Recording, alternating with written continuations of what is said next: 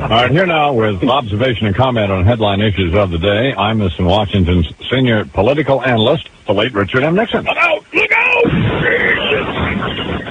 God, what are you doing? Uh, rollerblades. I miss in the morning. Suicide. Are you sure Vince Foster wasn't wearing these things when they found him? All right, just speaking of the late Mr. Foster, though, and apologies to Johnnie Cochran. Issue one. They can't make it fit. Please, God, make them quit. Enough with the hounding of Hillary by that congenital inquisitor, Alphonse D'Amato. Fifty million dollars down a Little Rock rat hole. What are these Whitewater warriors actually nailed down? Well- I can tell you what. Nothing. Zero. Bagel.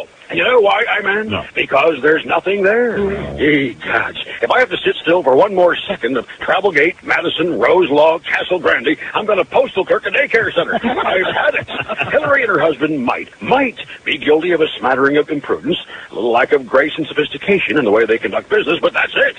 The only thing the Whitewater investigation risks at this point is the entire country storming Capitol Hill to shut up Lauch Faircloth. man, oh man, give it a rest, huh?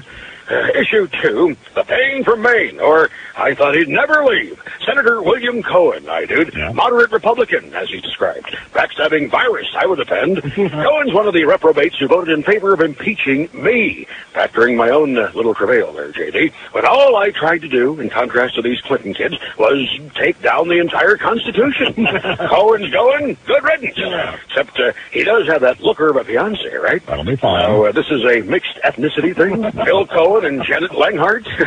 That's being true to moderate republicanism if I ever heard of it. He's got jungle fever. He's got jungle fever. He's got jungle fever. He's got jungle fever. That'll be fine. Go for it, Bill. Uh, issue uh, three, my man. Billy Ray Dale, the unjustly accused director of the White House Travel Office. I saw him on Larry King the other night, JD. Not for nothing, but there's a little uh, don't ask, don't tell in that boy's carry-on luggage somewhere, don't you think? No. Booking a lot of one-way trips to Key West.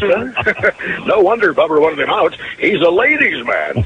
Say, uh, diverging here, uh, Paula Corbin Jones can put a name with a face, so to speak, regarding uh, Mr. Clinton's Mr. Happy. Well. well, hate to regale you with genitalia, I, but so can every babe below the 33rd parallel. she saw it for what, maybe 10 seconds? What's it look like, a sink trap?